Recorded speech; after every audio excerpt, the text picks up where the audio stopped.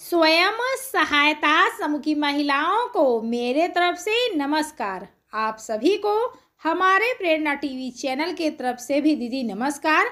अगर दीदी अभी तक आपने हमारे प्रेरणा टीवी चैनल को सब्सक्राइब नहीं किया है तो प्लीज़ जल्द से जल्द सब्सक्राइब कर लीजिए, क्योंकि आप सभी को डी से जुड़ी, उसके साथ साथ केंद्र सरकार के द्वारा जो भी योजना चलाई जाएगी, सबसे पहले दीदी आप सभी को अवगत कर दिया जाएगा। तो प्लीज़ हमारे प्रेरणा टीवी चैनल को सब्सक्राइब कर लीजिए। अगर दीदी आप पहले से ही D N R L M में जुड़ी हैं तो आपसे निवेदन है कि पंच सूत्र का पालन करना बिल्कुल ना भूलें।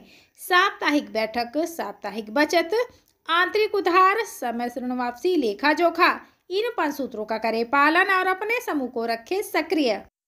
क्योंकि सक्रिय समूह को ही योजनाओं का लाभ दिया जाता है और वरीयता भी मिलती है। तो चलिए दीदी, ज़्यादा ना बात करते हुए मेन टॉपिक की तरफ़ आते हैं। जैसा कि आपने हमारे थंबनेल में देखा है।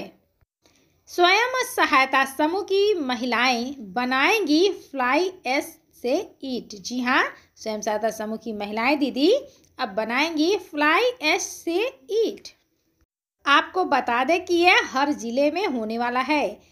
एनआरएलएम राष्ट्रीय ग्रामीण आजीविका मिशन के अंतर्गत महिलाओं को स्वावलंबी बनाने के लिए तहसील में प्लाई एस से ईट और पेवर ब्लॉक लगाने की प्लांट तैयारी किया जा रहा है। इस प्रकार आप सभी को पता होगा कि हर ज़िले में टीएचआर का प्लांट लग रहा है। इसी प्रकार फ्लाई एस से ईट और पेवर ब्लॉक लगाने के भी प्लांट लगाए जाएँगे।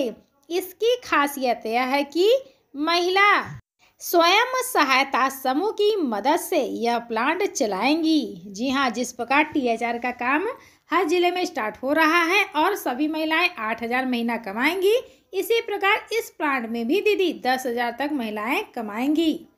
समूह की महिलाएँ ईट और पेवर प्लाक बनाकर खुद की सप्लाई भी करेंगी। प्लांट में समूह की महिलाओं के साथ गाँव की अन्य महिलाओं को भी रोज़गार मिलेगा। इस तरह के नवाचार से महिलाओं की न सिर्फ़ आय बढ़ेगी, बल्कि वह स्वावलंबी भी बनेंगी। बीना में प्लांट लगाने का मुख्य कारण प्लाई एस सहजता से उपलब्ध होना है। रिफाइनरी और जेपी वापर प्लांट में बड़े स्तर पर कोयला का उपयोग होता है। कोयला जलने के बाद बड़ी मात्रा में फ्लाई एस निकलती है। प्लांट के लिए अनुपयोगी फ्लाई एस सहजता से मिल जाएगा। इसे देखते हुए अधिकारियों ने महिला स्वयं सहायता समूह के माध्यम से यह प्लांट चालू करने की प्लान बनाया है। एनआरएलएम के अधिकारियों के मुताबिक प्लांट चलाने के लिए आगा सौद गाँव की महिलाएँ तैयार हैं। गाँव के श्याम स्वयं सहायता समूह के माध्यम के नाम से प्लांट चालू किया जाएगा। प्लांट शुरू करने में करीब दस लाख रुपए का खर्च भी आएगा। इसके लिए शासन बैंक से स्वयं सहायता समूह को ऋण दिलाएगा। प्लांट चालू होने के बाद महिलाएँ प्लांट में तैयार होने वाली ईट और पेवर ब्लॉक बेचकर सहजता से चुका सकेंगी।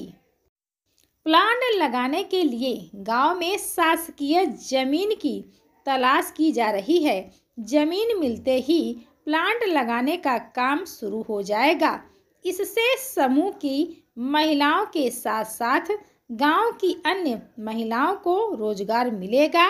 इससे गाँव की महिलाएँ आर्थिक रूप से सक्षम बनेंगी और परिवार की चलाने में सहयोगी बनेगी। आवासों में लगाई जाएँगी ईट। अधिकारियों ने बताया कि प्लांट लगाकर ईट बनाने आसान है, लेकिन ईट की बिक्री मुश्किल काम है। इसके लिए अधिकारियों ने तय किया है कि प्लांट में तैयार होने वाली ईट का उपयोग ग्रामीण क्षेत्रों में पीएम आवास बनाने में किया जाएगा। इसके अलावा जो भी शासकीय निर्माण होंगे, उनमें भी प्लाई एस ईट का लगाई जाएँगी। इससे महिलाओं को ईट बेचने के लिए परेशान नहीं होना पड़ेगा।